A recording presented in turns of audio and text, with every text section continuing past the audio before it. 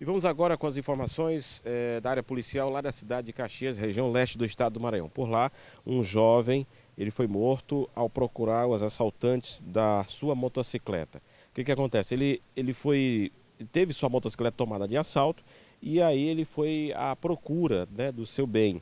Um homem identificado como Antônio Tiago Torres Lima, medeiro de 23 anos, foi morto a tiros no bairro Galeana, em Caxias. Segundo o delegado Zilmar Martins, ele procurava o endereço dos assaltantes que tomaram a sua motocicleta lá naquela cidade na semana passada.